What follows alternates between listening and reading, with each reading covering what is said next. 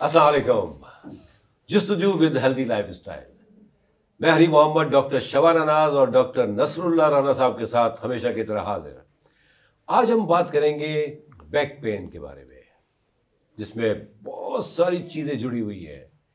जिसमें नेक भी आता है, आपका हिप्स का इशू है, आपका बैक का स्पाइन का प्रॉब्लम है lot of things are there और इसके बारे में मैं मैं क्या ज़्यादा बात करूँ, जबकि हमारे यहाँ दो माहिर बैठे हुए हैं, जो जुड़े हुए हैं।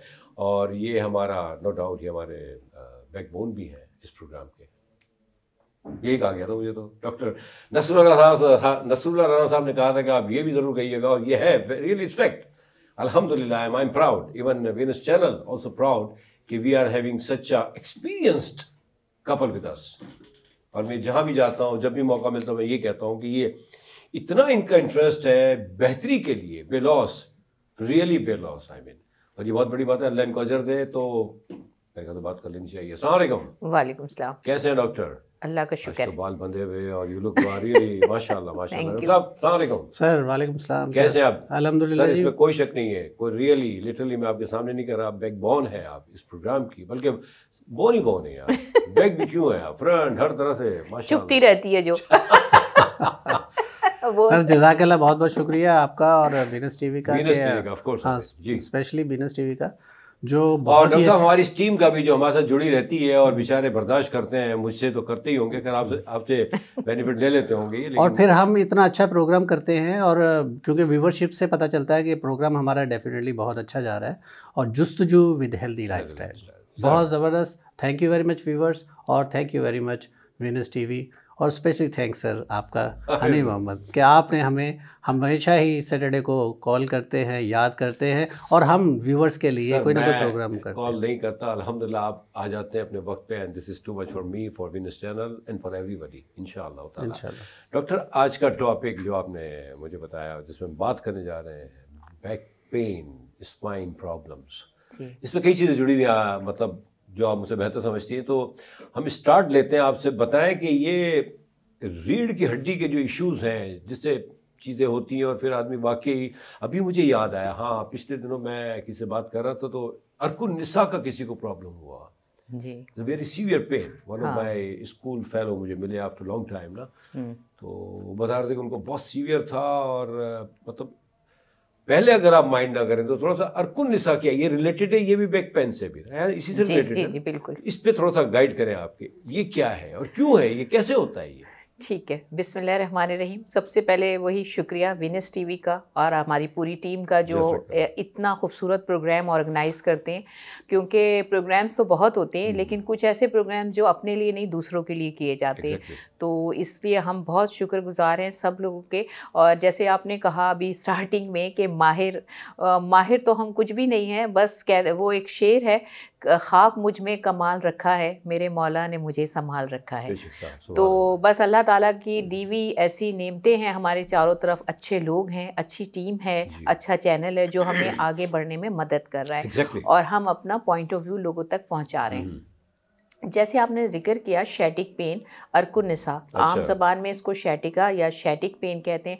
एक्चुअली जो शैटिका है हम्म। वो उसका ताल्लुक कमर से होता है। लेकिन कमर के हमारी एक बहुत बड़ी नर्व हमारी बॉडी में है जो हमारे वर्टिब्रा जो हमारे कमर के पाँच वर्टिब्रा हैं L four L five S one S two इनसे जो है ये नर्व्स निकल ये चार नर्व्स निकलती हैं। ये आकर एक बड़ी नर्व बनाती हैं जिसको शैटिक नर्व कहते हैं। हम्म। ये शैटिक नर्व हमारे ग्लूटियल रीजन यानी हमारे हिप से होती हुई हमारी back of thigh back of thigh तक जाती है। उसके बाद घुटने के पास आकर ये दो में डिवाइड हो जाती है। एक हमारी टांग के अगले हिस्से पे आती है और एक एक ब्रांच जो है उसकी हमारी टांग के नीचे वाले हिस्से में पीछे की तरफ़ जाके सोल ऑफ़ फुट तक जाती है। यानी ये इतनी बड़ी नर्व है जो कि हमारी कमर से शुरू होती है और हमारे पाँव के टो तक जाती है।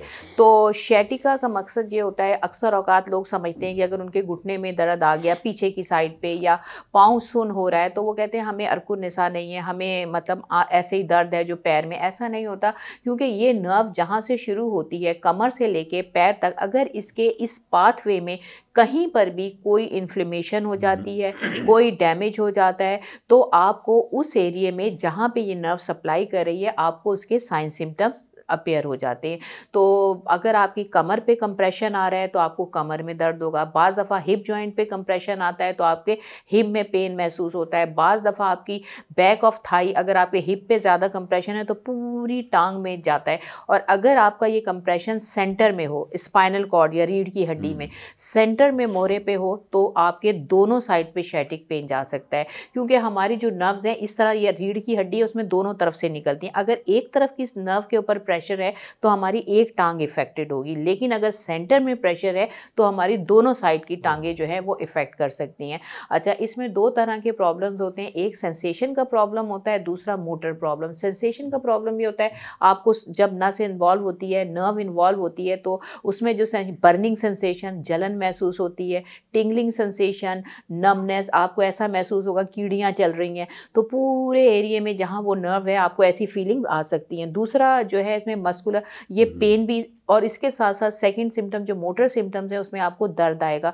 स्पेशली जब आप बैठे क्योंकि ये नर्व स्ट्रेट है जब आप ऐसे बैठते हैं तो नर्व जो है यूँ करके स्ट्रेच होती है। तो आपको बैठने में बहुत ज़्यादा देर बहुत ज़्यादा तकलीफ़ होती है। बहुत ज़्यादा देर खड़े होने के बाद जब आप बैठते हैं तब आपको बहुत तकलीफ़ होती है। तो एक्चुअली शैटिका जो है वो हमारा रिलेटेड होता है हमारी बैक हम्म। से।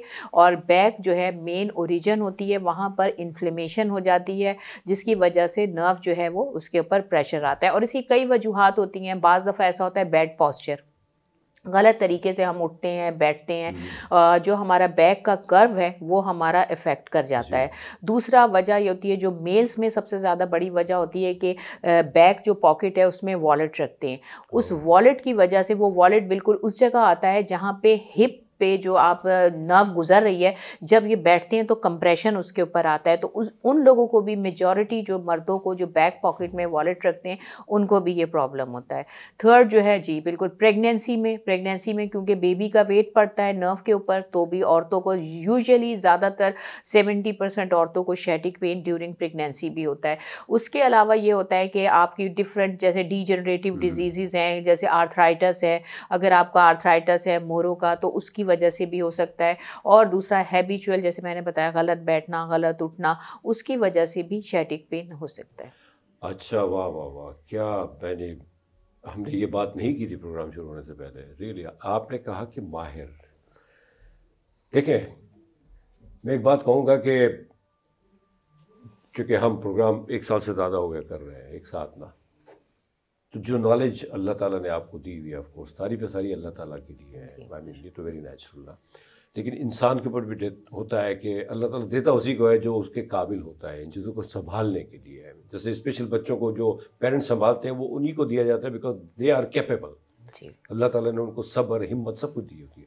इसी तरह अल्लाह ताला ने आपको और डॉक्टर नसर साहब को नो डाउट मेडिकली जो आपके पास नॉलेज है वो उनके पास इतनी नहीं होगी बट आई एम श्योर हो सकता हो कभी उन्होंने बोला नहीं है ये बड़े खामोश किस्म के हैं हंस भी रहे हैं।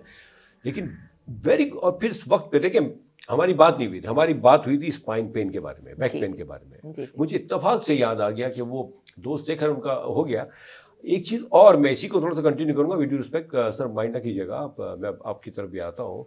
ये ये जो जो है ना सेटिक पेन यानी क्या कहते हैं निस्सा इसके बारे में मैं पूछूँगा कि क्या इसका इलाज है? अगर है तो मेडिकली कोई ऐसी दवा इजाद हुई है या फिर सिर्फ़ ऑपरेशन है? देखें सबसे बड़ी बात कोई भी बीमारी अगर है तो उसको हॉलिस्टिक अप्रोच से ट्रीटमेंट किया जाता है। हॉलिस्टिक अप्रोच का मतलब ये होता है कि आपने कई डोमेन्स में उसमें काम करना होता है। hmm. जैसे हम हेल्थ की डेफिनेशन देते हैं it's a state of mental physical spiritual and social wellbeing तो आपको जिस तरह चारों डोमेन्स में काम करना होता है शेटिक पेन का भी बिल्कुल इसी तरह है क्योंकि हमारे पास सिक्सटी टू सेवेंटी परसेंट दर्द जो है वो मैकेनिकल पेन होते हैं। मैकेनिकल पेन अच्छा। का मतलब ये होता है कि आपके मूवमेंट गलत posture disuse of muscle muscles जैसे अगर हम बहुत देर इस तरह टेढ़े होके बैठे हैं हम्म। गलत झुक के काम कर रहे हैं हम्म। लेट के टीवी दे रहे देख रहे हैं जैसे बेडरूम में टीवी है तो हमारी जो स्पाइन के ऊपर प्रेशर आता है हमारे मसल्स वीक हो जाते हैं उसकी वजह से मैकेनिकल पेन अगर है तो उसका ट्रीटमेंट तो सिंपल ये होता है कि जब हम हॉलिस्टिक अप्रोच पर बात करते हैं पेन न्यूरो साइंस एजुकेशन कहलाती है उसमें हम सबसे पहले अपने मरीज़ को जो एजुकेशन देते हैं कि उसने कैसे पॉस्चर रखना है किस तरह का फर्नीचर रखना है टीवी बैठ के देखना है टीवी लेट के देखना है कैसा बेड होना चाहिए चाहिए कैसा चेयर होना चाहिए। Sixty to seventy percent cases जो हैं वो हमारे इस तरह रिजॉल्व होते हैं। उसके बाद कुछ केसेस जैसे कॉज के ऊपर डिपेंड करता है और अगर आपका मैकेनिकल पेन है मसल वीकनेस की वजह से पेट ज़्यादा आपका बड़ा हो गया ओबिसिटी हो गई है तो पेट जो है पीछे की तरफ़ आपकी स्पाइन को खींच रहा है जिससे आपके मोरों के ऊपर प्रेशर पड़ रहा है आपकी नर्व के ऊपर प्रेशर पड़ रहा है और शैटिका हो सकता है। तो उसमें हम पेशेंट को वेट रिडक्शन की तरफ़ लेकर आते हैं। इसके बाद जहाँ तक ताल्लुक ये है कि मैंने बताया कि कई ट्रीटमेंट होते हैं एक ट्रीटमेंट से कोई भी बीमारी इलाज नहीं तो ठीक है डॉक्टर साहब मैंने कहा कि ट्रीटमेंट है मतलब आप कह रहे हैं कि मतलब हाँ। लेकिन otherwise otherwise at the end of the day I mean operation अगर खुदा न खासा सिक्सटी सेवेंटी में अगर वो ना कर पाए अपने आप को क्या कहते हैं इसको कंफर्टेबल ना कर पाए तो उसका फिर ऑपरेशन ही इलाज है। नहीं इसके लिए मैं छोटा सा दो लाइनों में आप लोगों को बता दूँ बाकी फिर आप लोग डिस्कस कीजिएगा। देखिए शैटिका के लिए या बैक पेन के लिए रिसर्चेस ये कहती हैं कि 70 परसेंट पेन जो है वो तकरीबन आपके चार हफ़्ते में ठीक हो जाते हैं by the help of pharmaceutical management nutritional management physiotherapy and observation ठीक है? इन तीन चीज़ों के इस्तेमाल से आपके केसेज अगर कमर के दर्द के चार हफ़्ते में seventy percent ninety percent cases जो हैं वो आपके छः से आठ हफ़्ते में ठीक होते हैं। हम्म। वो होते हैं इन्हीं आपको फार्मास्यूटिकल मतलब मेडिसन है सपोर्टिव ट्रीटमेंट है पॉस्चर करेक्शन है न्यूट्रिशन है इससे ठीक होते हैं। बाकी जो five to ten percent cases बचते हैं वो केसेस जो हैं वो भी आपको मेडिसन और ये सारी चीज़ें दी जाती हैं। लेकिन उसके साथ अगर माइलोपैथी हो अगर आपकी नस इतनी ज़्यादा नर्व कंप्रेशन आ रहा है आपका यूरिन कंट्रोल ख़त्म हो रहा है आपका स्टूल कंट्रोल ख़त्म हो रहा है आपके हाथ पैर सुन होना आप फालिज की तरफ़ आ रहे हैं तो वो फाइव टू टेन परसेंट लोगों को ये ट्रीटमेंट दिया जाता है तीन महीने तक और अगर उसको फॉलोअप पे रखा जाता है हम्म। अगर उनकी माइलोपैथी ज़्यादा होती जा रही है और आप हम्म। फालिज की तरफ़ जा रहे हैं और आपका यूरिन कंट्रोल ख़त्म हो रहा है क्वालिटी ऑफ़ लाइफ आपकी ख़राब हो रही है तो फिर फ़ौर ही जो है आपके डॉक्टर आपको सर्जरी रिकमेंड करता है और सर्जरीज आजकल जो है एंडोस्कोपिक सर्जरीज होती हैं और पेशेंट जो है आफ्टर वन वीक चलना फिरना सब कुछ शुरू हो जाता है। माशाल्लाह very good thank you very much आपने बहुत डिटेल की अनबिलीवेबल माशाल्लाह मैंने माहिर गलत कहा था। अच्छा इन्होंने चैलेंज करके इसको एक्सेप्ट कर लिया माहिर। अब ये माहिर से भी आगे निकल गई। है क्या वर्ड हो सकता है आगे माहिर से डॉक्टर हस्बैंड से तो ना ही मुझे अच्छा एक सेकेंड अब आपकी तरफ़ आपसे ही बात करेंगे इस तरह से डोंट वरी आप आज बड़े सीरियस बैठे हुए हैं लेकिन बैठ नहीं देंगे आपको हम। डॉक्टर साहब हमारा जो बेसिक टॉपिक जो था वो बैक पेन आई मीन उसके बारे में मैं आपको कहूँगा कि आप गाइड करें। और अगर थोड़ा सा पॉसिबल हो तो हमें प्रैक्टिकली कोई थोड़ी सी एक्सरसाइज करके बताएँगे, ताकि क्योंकि अक्सर मैंने देखा है कि रात को जब सोता है बंदा, सुबह उठ के वो कंप्लेन कर रहा होता है कि गर्दन रह गई है मेरी, ना यूँ या यूँ। इसके बारे में गाइड करें कि अगर ऐसा होता है तो क्यों होता है, उसकी वजह क्या है, और उसको किस तरह से बंदे, बंदा इसको रिलीज़ करे इस पेन को। बिस्मिल्लाहिर्रहमानिर्रहीम। पहले तो ये मुझे बताइए कि क्या वक, अब वक्फा तो नहीं आ रहा है कि ताकि मैं बात कर सकूँ? अगर वक्फा है कि टाइमिंग है तो मैं आगे कंटिन्यू करूँ? सर क्या बात है? नहीं सर बहुत अच्छी बात कर डाली हाँ। है। क्योंकि इसके बाद रुकना जो है रुक के दोबारा करना बड़ा मुश्किल हो जाता है। तो हम एक छोटा सा यहाँ पे ब्रेक ले ही लेते हैं। वो कि हो सकता है कि वक्त कबल वक्त हो लेकिन हम ले लेते हैं ताकि जो अब आप बोलेंगे ना तो उसको टाइम मिले आपको कंटिन्यू करने में। तो एक छोटे से ब्रेक के बाद हम हाजिर होते हैं। आप कहीं जाइएगा मत। देखिए, अरकुन निस्सा के बारे में डॉक्टर शबाना जी ने क्या के डिटेल्ड बात की है। और इसी तरह इन ताला डॉक्टर नसर साहब, जो है ना, बैक पेन के बारे में हमें गाइड करेंगे। तो कहीं जाइएगा मत, एक छोटे से ब्रेक के बाद हम हाजिर होते हैं, प्लीज़।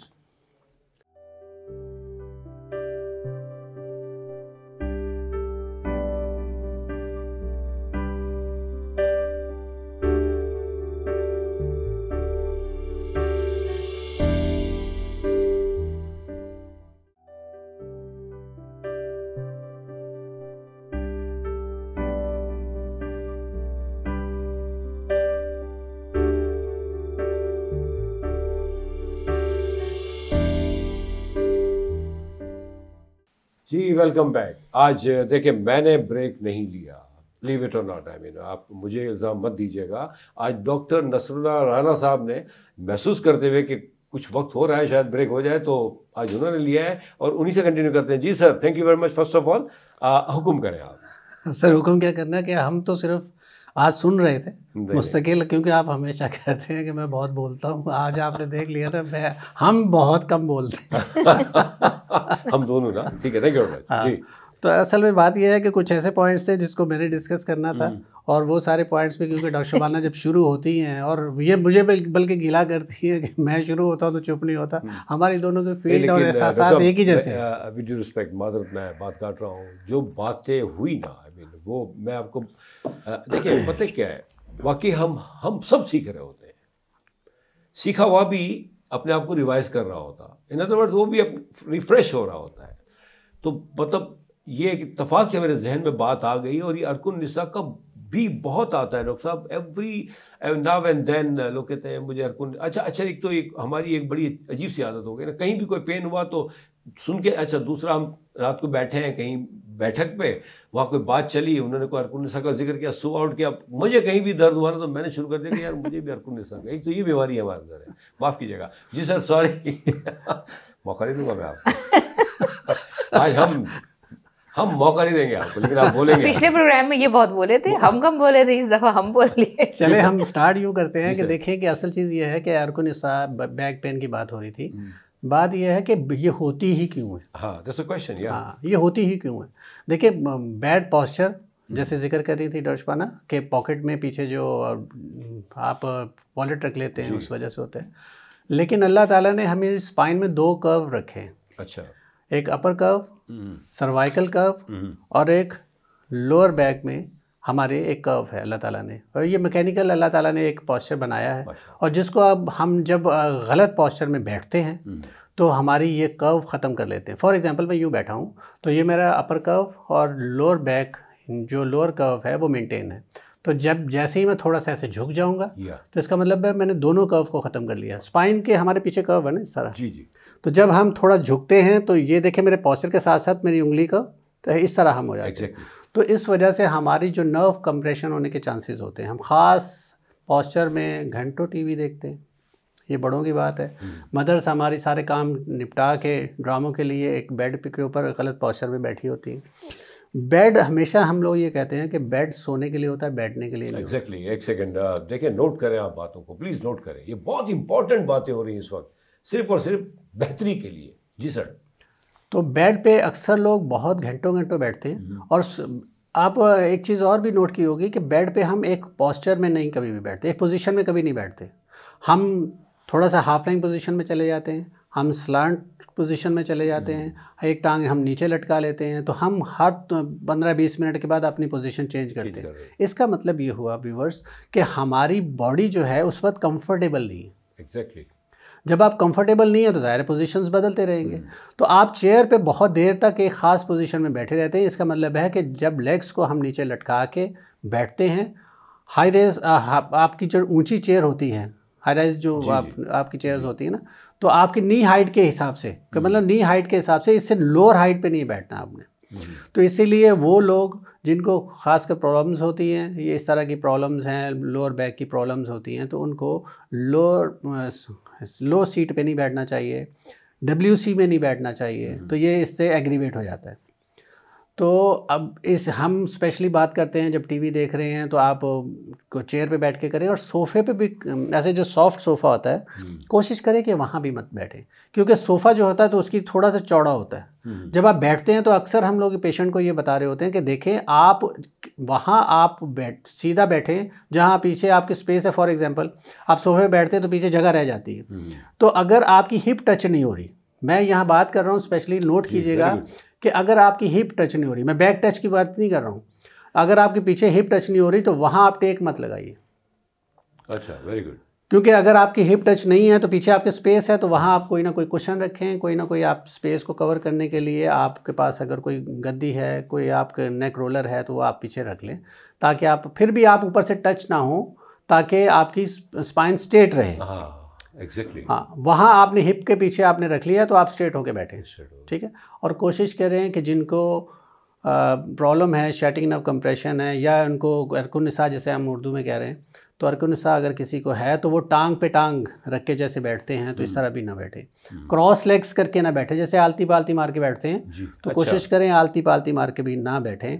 वो लोग जिनको ये प्रॉब्लम है तो इस इससे नर्व ज़्यादा स्ट्रेच होती है जिसकी वजह से आपको पेन बढ़ जाता है। हम्म, तो ये आज बहुत ज़्यादा ज़रूरी है ये है।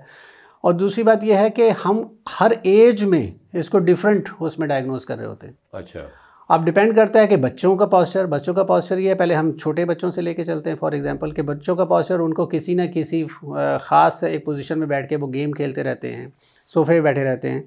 प्लस ये है कि वो बैग्स का हमने पिछली दफ़ा ज़िक्र किया था कि वो स्कूल में जब जाते हैं तो हैवी बैग्स उठा के लेके जाते हैं बाइक्स पे बैठते हैं तो हैवी बैग को वो होल्ड करने के लिए हमने ज़िक्र किया था हम्म। कि ग्रेविटी और प्लस आगे से हवा जो है उसका प्रेशर है डबल प्रेशर पे वो अपने आप को होल्ड करके इस पॉस्चर में बैठा होता है हम्म। तो जिसकी वजह से उनको स्पाइन पे प्रॉब्लम आती लोड आता है और स्पाइन में प्रॉब्लम आ जाती तो उसके बाद फिर वो घंटों घंटों गेम्स खेलना बेड पे बैठ के पढ़ना बेड पे बैठ के पढ़ना चाहिए एक स्टडी टेबल होना चाहिए जिसके ऊपर बैठ के बच्चों को पढ़ना चाहिए। आर्गोनॉमिक्स एक फ़ील्ड है जो पूरी दुनिया में फर्नीचर्स वगैरह को डिज़ाइन करती है कि आपके बेडरूम का फर्नीचर कैसा होना चाहिए।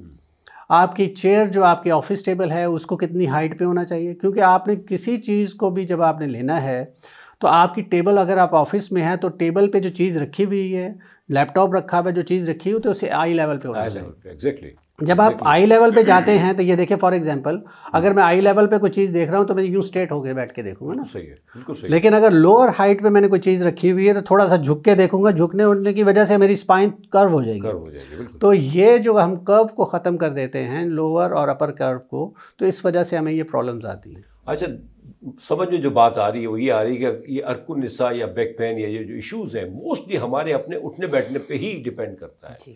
हमें इसका ख्याल रखना चाहिए। आपने बड़ी अच्छी बात की कि ये जो बेड है ना ये सोने के लिए है इस पर बैठ के ना तो मोबाइल को यूज़ करे आदमी ना टीवी देखे। क्या कहते हैं डॉक्टर साहब आप? अच्छा एक और बात जो जहन में आई मेरी बातों बातों से कि अक्सर देखा है चूँकि मेरी नवासियाँ आती हैं और तो वो छोटे बच्चे हैं आई मीन बारह तेरह साल के तो उनके जब उठते हैं, नीचे बैठ के जब खाना खाते हैं तो उठते हैं तो उनके पैर वगैरह सुन हो जाते हैं। इसकी क्या वजह हो सकती है? देखें सबसे पहले तो ये कि अक्सर हमारे पास भी लोग आते हैं अगर कमर में दर्द है तो कहती है गर्दन में भी खिंचाव आ रहा है। उसकी रीज़न ये होती है अगर एक पर्दा है आप ऊपर से खींचेंगे तो ऑटोमेटिकली नीचे भी प्रेशर आएगा। इसी तरह जो बैक के पूरे मसल्स हैं हमारे सर के पिछले हिस्से से लेके टेल बोन तक इसकी जो लिगामेंट। की शीट है वो एक ही होती है। तो अगर आपकी बैक पे प्रेशर है और आपने कर्व ख़राब कर दिया तो आपके नेक पे भी प्रेशर आएगा आपकी टेल बोन पे भी प्रेशर आएगा। और अगर आपकी बैक पे प्रेशर है तो ऑटोमेटिकली बैक पे मोहरे हैं। इन मोहरों से नर्व्स निकलती हैं जो हमारी बॉडी में सप्लाई करती हैं। हम्म। अगर ये नर्व कंप्रेस हो तो उसका उसकी निशानी होती है कि आपको सुन होना। और जहाँ तक बच्चों का ताल्लुक है मेजॉरिटी हाँ। बच्चों में ऐसा है कि विटामिन डी डेफिशिएंसी हमेशा हम बताते हैं। बाज़ दफ़ा ये होता है कि उनकी कैल्शियम डेफि विटामिन डी कम होगा तो कैल्शियम भी कम होगा। उसके अलावा बच्चों की फ़िज़िकल एक्टिविटीज़ बहुत कम है। अब क्योंकि बहुत सारी वजह ऐसी होती हैं जिसमें मस्कुलर वीकनेस होती है। हम्म। बच्चों के टांगों के मसल्स कमज़ोर हैं। हर एक की वजह शैटिका नहीं होता। हर एक की वजह कोई भी बैक प्रॉब्लम नहीं होती और भी मल्टीपल प्रॉब्लम मतलब कॉजेज़ हैं जिसकी वजह से आपकी टांगें सुन होती हैं मसल्स में क्रैम्प्स आते हैं घुटनों में दर्द होता है उसमें डेफिशिएंसीज हैं कुछ उसके अलावा ये मस सबसे अहम जो है वो है मसल वीकनेस है बेड हम्म। पॉस्चर जो हमेशा हम डिस्कस करते हैं हम्म। और देखें एक फार्मूला सबने याद रखना है जितने भी लोग हैं कि आप लोगों ने किस अपने जॉइंट्स पे जितनी देर बैठते हैं या खड़े होते हैं आप अपने जॉइंट्स के ऊपर एक वेट और प्रेशर डाल रहे होते हैं इसीलिए मेडिकल साइंस बार बार ये कहती है कि आपने कोई भी पोजीशन प्रोलॉन्ग पीरियड तक नहीं रखनी। आपने अपने जॉइंट्स पे से प्रेशर रिलीज़ करना है। अगर आप बैठे हैं सपोज़ आप आधा घंटा बैठे हैं तो आधे घंटे के बाद आप कमरे में भी एक राउंड ले लें। और अगर आप बैठे हैं तो राउंड ले लिया। अगर आप चल रहे हैं थोड़ी देर बैठ जाएँ। अगर आप मतलब बहुत देर खड़े हैं लेट जाएँ या आप थोड़ा सा स्ट्रेचिंग कर लें अपने मसल्स की यानी आप अपने प्रेशर रिलीज़ कर दें। कंटिन्यूसली हम्म। प्रेशर एक चीज़ पे पड़ता रहता है मसल्स ओवर वर्क करते हैं तो उससे क्या होता है वो मसल्स फटीक में चले जाते हैं हम्म। वो मसल्स वीक हो जाते हैं जैसे आपने कहा कि बच्चों की टांगों में सुन होना दर्द होना उसकी रीज़न ये घंटों बच्चे लैपटॉप पे बैठे हैं मोबाइल पे बैठे पी एस फोर पर बैठे हैं तो उससे क्या होता है एक मसल्स वर्क कर रहे हैं दूसरे मसल हमारी बॉडी में अल्लाह ने ऐसे मसल्स बनाए एक जो है वो हमारे मसल्स जो काम करते हैं प्राइम मूवर एक उसके एंटेगोनिस्ट दोनों मसल्स जब बैलेंस में होते हैं अल्लाह ने ऐसे बनाया तो हम जज चलते हैं। अब क्या होता है हम एक मसल्स ओवरवर्क कर देते हैं दूसरे रिलैक्स इम्बैलेंस हो। जाता है जिसकी वजह से आपको ये सारे मसाइल होते हैं। अच्छा डॉक्टर साहब मैंने आपसे कहा था कि ये नेक पेन गर्दन का जो नॉर्मली हम जब उठते हैं करते हैं तो मोस्टली बल्कि कभी कभार तो शायद हवा लगने से भी ये इश्यूज़ आते हैं नहाने के बाद कोई हवा लग गई या हम्म। तो ये जो नेक पेन है मीन ये रात को सोने के बाद जब उठते हैं तो इसकी वजह तो शायद पिलो वगैरह का या आपको पोस्चर कंटिन्यूसली आवे की सिम्टम सो गए दैट्स व्हाट आई अंडरस्टैंड तो एक तो इसको कैसे रिलीज़ किया जाए? और कोई अगर एक्सरसाइज आप विद यू रिस्पेक्ट बैठे बैठे अगर आप बता सकते हैं कि अगर इसको यूँ किया जाए तो ये थोड़ा सा रिलीज़ हो सकता है बंदा इमीजिएटली ना, क्योंकि कभी कभार वाकई बड़ा सीवियर होता है बंदे को ना। तो जरा गाइड करें सर आप। सबसे पहले तो व्यूवर्स को हम ये बात करना चाहेंगे कि अक्सर वो यूट्यूब पे एक्सरसाइज देखते हैं किसी भी पोजीशन में अगर यूट्यूब पे एक्सरसाइज के लिए आप कब जाते हैं? कब देखते हैं? वो जब देखते हैं जब आपको कोई प्रॉब्लम होती है। एग्जैक्टली जब आपको प्रॉब्लम होती है तो इसका मतलब ये होता है कि अब आपको डॉक्टर के पास जाना चाहिए। हाँ। तो डॉक्टर के पास जाएँगे तो डॉक्टर आपकी पोजीशंस और आपकी जो पैथोलॉजी है उसको देखते हुए आपको एक्सरसाइज गाइड करता है। तो अब हम जैसे अगर थोड़ी सी अब जनरल एक्सरसाइज हम बता देंगे लेकिन यह है कि आपको अगर बहुत सारे लोग जो सोने से जब उठते हैं तो उनको प्रॉब्लम्स होती है। अब हम ज़िक्र कर रहे थे जैसे सब पहले के हम मुस्तकिल बैठ के टीवी देखते हैं तो हमारी जो मैट्रस है जो गद्दा है हमारा सोने का तो वो छः बाई साढ़े छः का होता है। उसकी जो अ, लंबाई। चौड़ाई जो है लंबाई उसकी साढ़े छः होती है और चौड़ाई उसकी छः फिट होती है। तो अगर फॉर एग्ज़ाम्पल मैं ये मोबाइल पकड़ा हुआ है तो अगर मोबाइल ये साढ़े छः है और ये इस तरह छः है। तो अगर मैं मोबाइल को इस पोजीशन में लेके जाऊँ गद्दे को पलट दिया फॉर एग्जांपल तो आप ये समझ लें कि हमारी जो बैक आ रही है तो उसी पोजीशन में उसी जगह ही आएगी। ठीक है। अगर दूसरी सूरत यह है कि मैं गद्दे को इस तरह पलट दूँ हम्म, तो अगर मैं इस तरह पलटूँगा तो भी मेरी बैक वहीं रहेगी। ना असल में अगर गद्दा ये साढ़े छः बाई साढ़े छः का होता तो इसका मतलब यह है कि मैं गद्दे को इस पोजीशन में पलट सकता था। हम्म, तो इस पोजीशन में पलटने की वजह से जो हमारी बैक जो स्पाइन यहाँ आ रही थी तो इस तरह टर्न होने की वजह से हम यूँ लेटेंगे तो हमारी स्पाइन डिफरेंट पोजिशन में आएगी। Exactly. मतलब हमारी जो बैक है। तो इससे फ़ायदा ये होगा कि हम अनयूज सरफेस जो हमने अभी इस्तेमाल नहीं की थी तो उसको यूज़ हो जाएगा एग्जैक्टली फॉर एग्जांपल अगर बहुत सारे लोग कहते हैं कि हमारा गद्दा सही है मैं उनको थोड़ा सा गाइड करना चाहूँगा कि देखिए गद्दे को देखने का जज करने का एक मैं फार्मूला बता देता हूँ। उसका ये तरीका है कि जैसे आपके पास हम अक्सर पूछते हैं कि पेशेंट को आपका मेट्रस ख़राब होगा जिसकी वजह से आपको मुस्तकिल उस जगह लेटने से ख़ास जगह में जहाँ आप लेटते हैं स्पाइन जहाँ लोअर बैक आती है वो दब चुका है। तो वो कहते नहीं गद्दा ठीक है। तो हम उनसे ये कहते हैं कि आप एक काम करें क्योंकि आप साइडों में लेटते हैं दोनों हस्बैंड वाइफ एग्जैक्टली तो आपकी बीच वाली जो सरफेस है मेट्रस की वो अनयूज्ड है। तो आप बीच में लेट के देखें। अगर आपको मेट्रस वहाँ हार्ड लग रहा है तो इसका मतलब आपका गद्दा ख़राब हो गया। अब बहुत सारे लोग कहते हैं कि इतना तो हम अफोर्ड नहीं कर सकते कि गद्दे को हम फ़ौरन बदलें। तो उसमें हम ये कहते हैं कि आप क्रॉस में लेट जाएँ। क्रॉस का मतलब ये नहीं है कि अगर आप यूँ लेटते हैं वर्टिकल तो इसका मतलब ये है कि लेग्स टॉल अगर हैं तो लेग्स बाहर निकल जाएँगे। लेकिन क्रॉस का मतलब ये है कि यूँ लेटें क्रॉस में। तो जब आप क्रॉस में लेटेंगे तो स्पाइन आपकी मिडल में आएगी। तो जब मिडल में आएगी तो आप हार्ड सरफेस पर लेटेंगे तो इससे बहुत अरसे तक आप गद्दे को यूज़ कर सकते हैं। क्योंकि नॉर्मली हम टीवी देखते हैं उस खास उस पोजीशन में टांगे लंबी करके पीछे तकिए लगा के जब हम तकिए लगा के बैठते हैं तो हमारी स्पाइन यूँ हो जाती गोल। बिल्कुल सही। ठीक है ना? तो ये भी बहुत गलत पॉस्चर है टांगे लंबी करके पीछे को। लोग अक्सर कहते हैं हमने पीछे स्पोर्ट तो ली थी तो इस वजह से क्यों हो गया? तो स्पाइन की हम कर्व ख़त्म करते हैं। तो ये नहीं करना। अच्छा जो बात समझ में आ रही है सारे का सारा दारो मदार बंदे के ऊपर खुद ही है। कि वो किस तरह अपने आप को मेंटेन करे किस तरह अपने आप को लेके चले किस तरह बैठे कितना बैठे उठे फिर थोड़ी एक्सरसाइज करे या वॉक कर ले। क्योंकि एक ही पॉस्चर पे कंटिन्यूसली बैठना वो बड़ा हार्मफुल है उससे कई बीमारियाँ वैसे भी मैं समझता हूँ अदर देन कुन्नसा या बैक पेन या और क्योंकि अगर एक बीमारी आ रही है तो उसके साथ कई बीमारियाँ और भी जुड़ जाती हैं मेरा ज़्यादा ख्याल है। जी सर। अब आपने क्योंकि सवाल मुझसे जो पूछा था वो सवाल बीच में ही रह गया क्योंकि आपने पूछा था कि नेक में पेन होता जी है। सर। तो नेक में पेन देखें कि बहुत सारे लोग जो हैं बहुत सारे हमारे गाइड कर रहे होते हैं जो हमारे यूट्यूब पे सोशल मीडिया पे कि आप पिलो जो है एक ख़ास पोजीशन वाले लें ऑर्थोपेडिक पिलो भी कहलाते हाँ। हैं आजकल ये चल तो देखें मैं थोड़ा सा यहाँ गाइड करूँगा अपने व्यूवर्स को। देखें ऑर्थोपेडिक पिलो का मतलब ये होता है वो एक ख़ास से कव बना हुआ था उसमें। वो स्टेट लेटने के लिए मैं स्पेशली हम क्योंकि प्रैक्टिस में हैं हम इतने अरसे से एक्सपीरियंस में हैं तो हमने जो नोट किया है वो ये है अपने एक्सपीरियंस की बात कर रहे हैं। बाकी ये है कि आप लोग खुद अपनी स्पाइन को ज़्यादा बेहतर समझते हैं, क्योंकि जब तक आप डॉक्टर के पास नहीं जाएँगे डॉक्टर आपकी फ़िज़िकली असेसमेंट नहीं करेगा तो वो गाइड नहीं कर सकेगा। लेकिन इस वक्त हम जो टेलीविज़न पे बैठ के आपको एक गाइड कर रहे हैं, एक गाइडलाइन दे रहे हैं तो उसको आप फॉलो कर लीजिए। क्योंकि जो ऑर्थोपेडिक पिलो आप लेते हैं, वो एक ख़ास पोजिशन में कव में होता है। जब आप सीधा लेटते हैं तो उसके लिए बहुत बेनिफिशियल होता है, आप लेट सकते हैं, ले सकते हैं।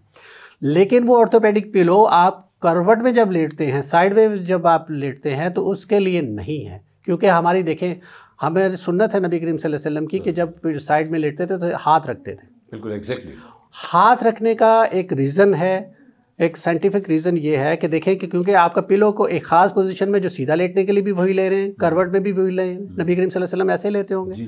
तो फिर जो बीच में स्पेस रह जाता होगा तो उसके लिए हाथ रखते थे। ताकि वो थिकनेस मिल जाए।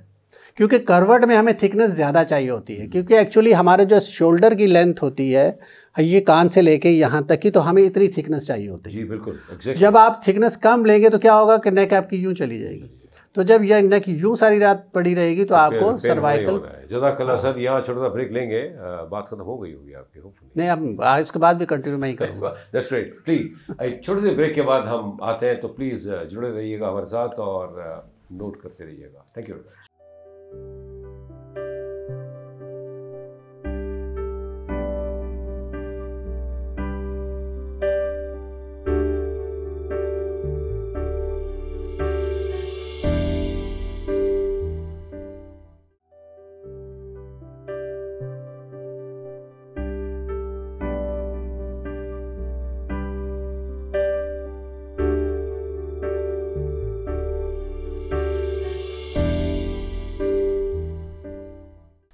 welcome back. बात हो रही है आप लोगों के लिए इवन हमारे लिए भी लेकिन ये कि अब हमने इस पर अमल करना है और अपने आप को ठीक रखना है तो प्लीज़ डॉक्टर साहब कंटिन्यू करें आप।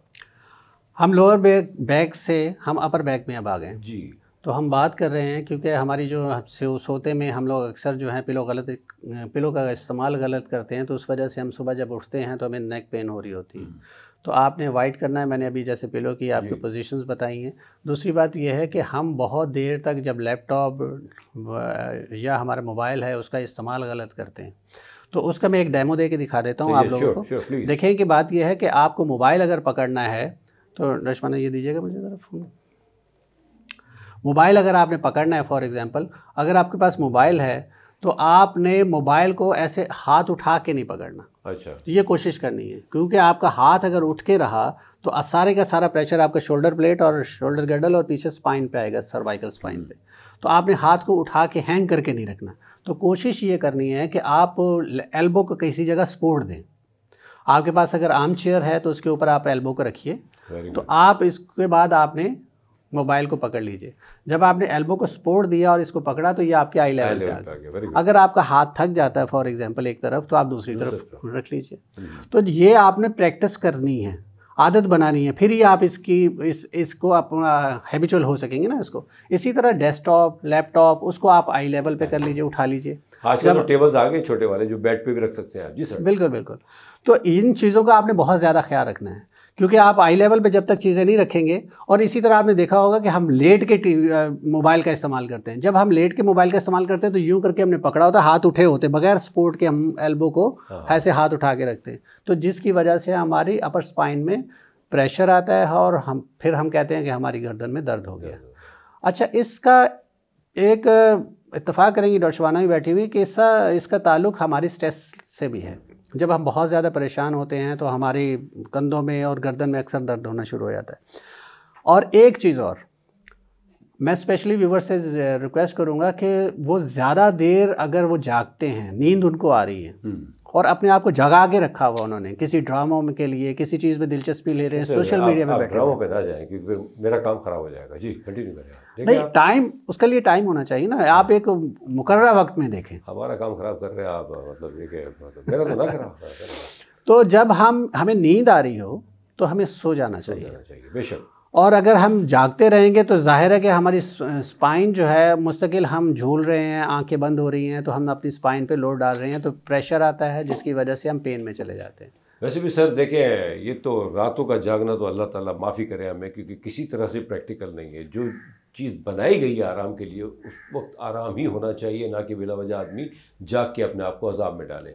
अच्छा डॉक्टर साहबा वो जो हमारा अरकुन निसा में जो बात हो रही थी आपने कहा कि सिक्सटी टू सेवेंटी परसेंट जो लोग हैं वो मेडिकली मतलब सरवाइव कर सकते हैं। I mean maybe eighty percent you can eighty to ninety eighty to ninety percent तो मेडिकली मतलब कितना अर्सा वो इन चीज़ों को देखिए मेडिसिन भी आपको पता है they are also very expensive तो वो कब कितना अर्सा ले आदमी। ये डिपेंड करता है बंदे के ऊपर या वो जो वेन चल रही है वो कितनी डैमेज है?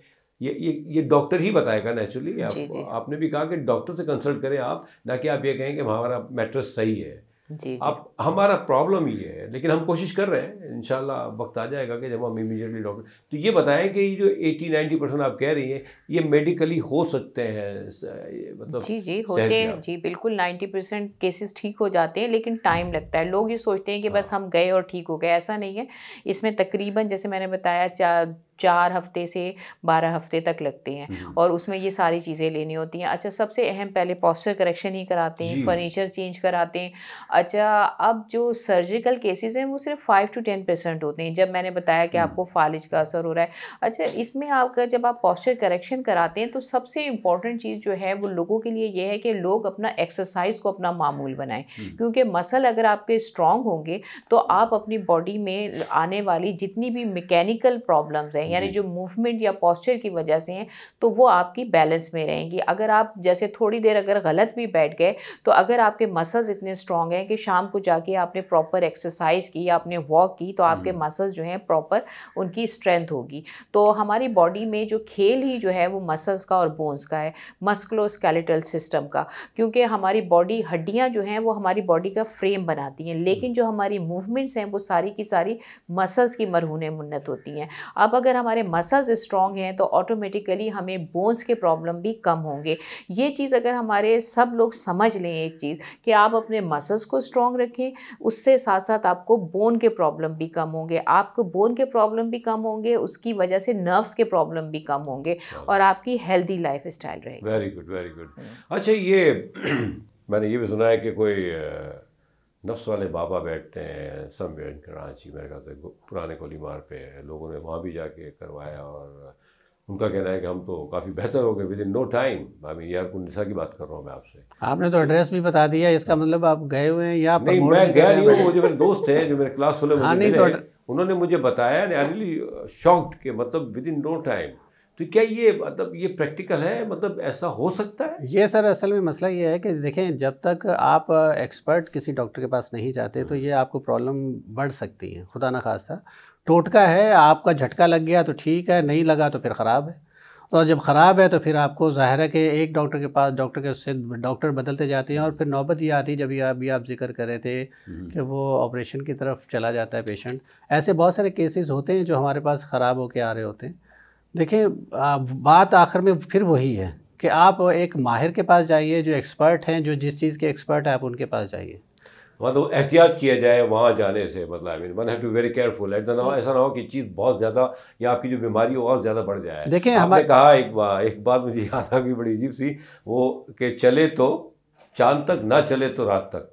ये चाइना के आइटम्स के बारे में कहा जाता था अच्छा मैं समझा आप कहने वाले हैं चले तो कट ही जाएगा सफ़र आहिस्ता आहिस्ता तो ठीक हो ही जाएँगे आहिस्ता आहिस्ता नहीं नहीं नहीं मुझे याद आ गया इन्होंने कहा ना चले तो हाँ। ठीक है वरना फिर ऑपरेशन जी नहीं वो। ऐसा है लेकिन मतलब ये होता है लोग बड़े कभी कभार ऐसी बातें कर जाते हैं बड़े ऑथेंटिक वे में और बड़े आई I मीन mean, क्या कहते हैं कॉन्फिडेंस के साथ कि नहीं यार मैं गया और यकीन करें और, और वो बंदा चूँकि he was my class fellow और बड़ा ऑनेस्ट किस्म का बंदा है and he is feeling better now उसका कहना यही है कि मैं बहुत बेहतर हूँ पहले की नस्बत अच्छा एक चीज़ मैं यहाँ थोड़ा सा अब हम लोग क्योंकि इस फ़ील्ड में अब माशाल्लाह टाइम हो गया। टाइम हो गया। जी जी बिल्कुल। और हमने अपने एक्सपीरियंस में ये बात सीखी है कि अब जब कोई डॉक्टर या कोई एक्सपर्ट जो है पेशेंट अगर उनके पास आता है उनको ट्रीटमेंट के साथ अगर एक्सरसाइज करा दी जाती है डिपेंड करता है कि उसको एक्सरसाइज करानी या नहीं करानी अक्सर पेशेंट आके इंसिस्ट करते हैं डॉक्टर्स ने भी लिखा होता है कि इसको एक्सरसाइज करवाएँ और वहाँ एक्सपर्ट जो होते हैं उस फ़ील्ड से रिलेटेड मस्कुलस्केलेटन डिसऑर्डर से रिलेटेड जो लोग होते हैं एक्सपर्ट होते हैं न्यूरोमस्कुलर के तो वो उसको मना भी कर रहे होते हैं। उसकी एक रीज़न है जो हम बताना चाहूँगा मैं। उसकी रीज़न ये है कि देखें फॉर एग्ज़ाम्पल एक एग्ज़ाम्पल के तौर पे बता रहा हूँ मिसाल के तौर पे हमारे डी की स्ट्रेंथ के लिए हमारी सीढ़ियाँ चढ़ना साइकिलिंग करना वॉक करना बहुत इंपॉर्टेंट है। अगर आपको प्रॉब्लम हो जाए कोई पैथोलॉजी है तो ये तीनों की तीनों चीज़ें मना कर दी जाती हैं। इट्स मीन्स कि अगर कोई पैथोलॉजी है तो आप सीढ़ियाँ भी नहीं चढ़ेंगे साइकिलिंग भी नहीं कराएँगे इवन कि आप नमाज़ भी नीचे बैठ के नहीं पढ़ेंगे। हम्म। ऐसा ही है। हम्म। तो जब आप ठीक होते हैं ऐसा ऐसा ठीक होते हैं तो हम हमारा पॉइंट ऑफ़ व्यू ये है कि देखिए जब आप ठीक होते हैं तो आप जब नॉर्मल पोजीशन में या नॉर्मल वॉक करने शुरू कर देते हैं नॉर्मल एक्टिविटीज़ में जब आप आते हैं तो आपकी जो नॉर्मल रूटीन की एक्सरसाइज हैं या नॉर्मल लाइफ आप मेंटेन करना शुरू करते हैं तो वो आपकी एक्सरसाइज है। तो विदाउट जैसे जब तक आप नॉर्मल रूटीन में नहीं है तो ज़ाहिर एक्सरसाइज भी परफॉर्म नहीं कर पाते। तो जब आप नॉर्मल रूटीन में आ जाते हैं फिर उसके बाद आपको स्ट्रेंथनिंग एक्सरसाइज और एक्सरसाइज पे रखा जाता है ताकि आपके मसल स्ट्रांग हो जाए। हम्म। तो ये मैं रिक्वेस्ट करूँगा वो लोग जो बहुत ज़्यादा यूट्यूब पे फॉलो करते हैं वो एक्सरसाइज पे चले जाते पेन उनको है डॉक्टर से कंसर्न नहीं करते और वो एक्सरसाइज करनी शुरू कर देते हैं तो उनकी एक्सरसाइज पेन एग्रीवेट हो जाता है। तो बार बार हम यही ज़िक्र करते हैं कि अगर आपको कोई प्रॉब्लम है लोअर स्पाइन या अपर स्पाइन में तो हम्म। डॉक्टर शबाना जैसे अभी कह रही है ना कि देखें आपको प्रॉब्लम है तो सर्जिकल की प्रोसेस की तरफ़ अगर आप जा रहे हैं प्रोसीजर हम्म। की तरफ़ जा रहे हैं तो सर्जिकल प्रोसीजर की तरफ़ जा रहे हैं तो ऐसा मुमकिन ही क्यों हुआ हम्म। आप उससे पहले भी तो उसको कवर अप कर सकते हैं। सवाए इसके कि खुदा ना खासा कोई पैथोलॉजी है कोई एक्सीडेंट हो गया कोई और चोट लग गई है तो वो तो अलग चीज़ है ना। हम्म। लेकिन अगर हमने बैड पॉस्चर की वजह से अपने आप को इतना वर्ष कर लिया ख़राब कर लिया तो उससे तो आप ज़ाहिर बच सकते हैं और अपना पॉस्चर सही रखेंगे तो इन आप ठीक रहेंगे। ये तो बड़ी आम सी आजकल बात हो गई है। आप गूगल पे चले जाएँ आप यूट्यूब पे देख लें मतलब वो एक तो पहले हम घरों में क्या करते थे टोट के मैं समझता हूँ वो बेहतर थे, मैंने तो गूगल गूगल पे हर आदमी इतना खिलाड़ी नहीं होता। इतना माहिर नहीं होता। लेकिन एक चीज़ छोटी सा मैसेज मैं दूँगी। एंड है बिल्कुल ख़त्म होने हाँ, वाला है। देखिए मैं व्यूवर से ये कहना चाहूँगी जैसे बहुत सारे लोग हैं ये मिथ हैं लोगों के यूट्यूब पे या आपके हम्म। बहुत रिलेटिव जो गलत चीज़ है बड़े कॉन्फिडेंस से कहते हैं आप ये करें आप बिल्कुल ठीक हो जाएँगे। ये ऐसा बिल्कुल भी नहीं होता। अगर इस तरह से चीज़ों से लोग ठीक होने लगें तो डॉक्टर्स और हॉस्पिटल की ज़रूरत नहीं। दूसरा अगर कुछ लोग ऐसे होते हैं जो वहाँ जाने से ठीक हो जाते हैं। उसकी वजह ये है हेल्थ की मैं डेफिनेशन में हमेशा कहती हूँ, वो लोग आपकी जो है, वो आपकी मेंटल हेल्थ पे वर्क करते हैं, आपकी सोशल हेल्थ पे। आप मेंटली जाते हैं, आपको लगता है कि आप ट्रीटमेंट करा रहे हैं सोशली आप वहाँ लोगों को देखते हैं, उससे आपकी सोशल एक्टिविटी से आप खुश होते हैं और जिससे आपके हैप्पी हारमोन्स प्रोड्यूस होते हैं। ये हैप्पी हारमोन्स जब प्रोड्यूस होते हैं, ये आपकी पेन परसेप्शन को कम करते हैं। उस, उसमें से कोई जो इक्का दुक्का लोग ठीक होते हैं, उसकी वजह ये होती है कि वो आपकी फ़िज़िकल हेल्थ से ज़्यादा आपकी मेंटल और सोशल हेल्थ पे काम कर रहे होते हैं। अपनी सेहत का ख्याल रखें। पाकिस्तान जिंदाबाद। थैंक यू सो मच जी जी बिल्कुल आप भी दे सकते हैं सर। आप देखिए क्या करें डॉक्टर साहब? सर खुश रहें। हम मानेंगे? नहीं जी हाँ। खुश रहें हम्म। और खुश रखें। आमीन आमीन। और अगर आप खुश रहेंगे खुश रखेंगे तो आप आप हमेशा यंग नज़र आएँगे। बिल्कुल हमारे हनीफ साहब की तरह। अरे सर क्या बात है। हम तो आपको फॉलो कर रहे हैं। खुश रहें। और खुश रखें। खुश रखें। देखें खुश रहें। थोड़ी सी महँगाई कम करवा दें। खुश हो जाएँगे हम।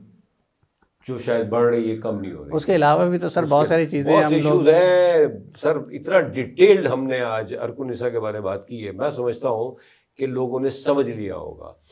नो डाउट कहीं और जाने से फ़र्क पड़ता होगा। हम ये नहीं कहते हमारा कभी भी ये नहीं रहा कि वो गलत है। हम ये कहते हैं कि एवरीडे इज़ नॉट संडे कहीं ऐसा ना हो कि चीज़ें ख़राब हो जाए।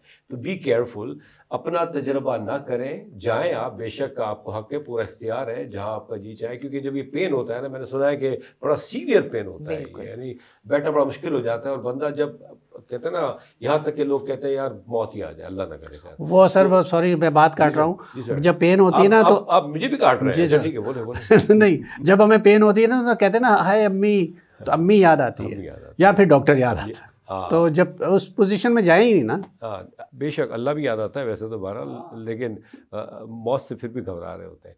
तो अपना ख्याल रखें आप बेशक कोशिश करें थोड़ी सी करें लेकिन पूरी आप उस पर इसार ना करें आप। देखें इलाज है, हर बीमारी का इलाज है सुबहान अल्लाह लेकिन क्या है कि हमें at the end of the day doctor को रुजू करना चाहिए और हम खुद ही अपना ख्याल रख सकते हैं। बाकी माफ़ कीजिएगा देखें हर आदमी अपने तौर से अपनी ज़िंदगी जी रहा है और उसके अपने प्रॉब्लम्स हैं। तो किसी पर रिलाय ना करें, खुद करें कोशिश और ख़ुद उसको मैनेज करें तो इन ताला बीमारियाँ खुद ही ख़त्म हो जाती है।